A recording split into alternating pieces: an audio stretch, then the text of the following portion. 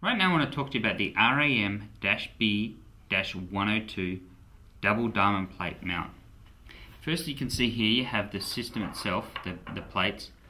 What the design for this plate really, or this mount really is, is using one of these plates as a mounting base. It's, it's a really good base because it has a very small footprint. So if you just want to use two screws on something that's not super heavy but you've got a, a, flat surface, let's say on a motorcycle you might have a little ledge where you want to mount this or um, on a boat or even a golf cart, wherever you may choose.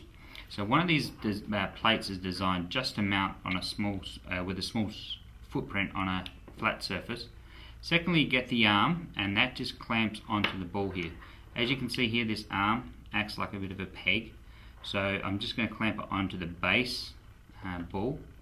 So you can see with that little peg, because of that spring inside of there, you can just see it there that just lets me grab onto that ball without this sort of falling flat down. It holds, it holds its weight. Then you go and put in the other end, the other ball into the socket. I'm going to tighten this up, just get a bit of grip on both. So now you've got that holding on, I can now move this diamond plate around. The general purpose of the diamond plate on the other end is to connect to a cradle. Uh, all the RAM mounts have a, uh, all the RAM cradles I should say, have a diamond plate on the back. I'll just show you one here. You can see there, that's a cradle for the 60 series GPS. And you can see there, there's that diamond plate that matches up to this diamond plate.